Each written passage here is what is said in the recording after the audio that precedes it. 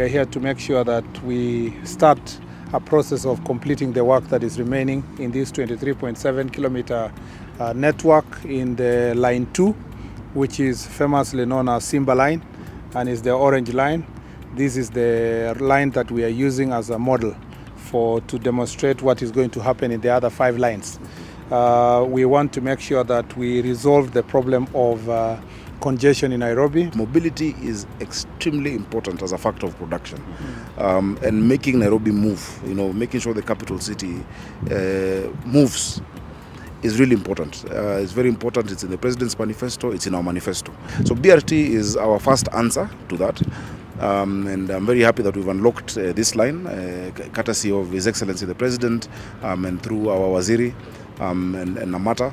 We've unlocked support for the line from Dandora. That is a huge, uh, you know, artery into the city.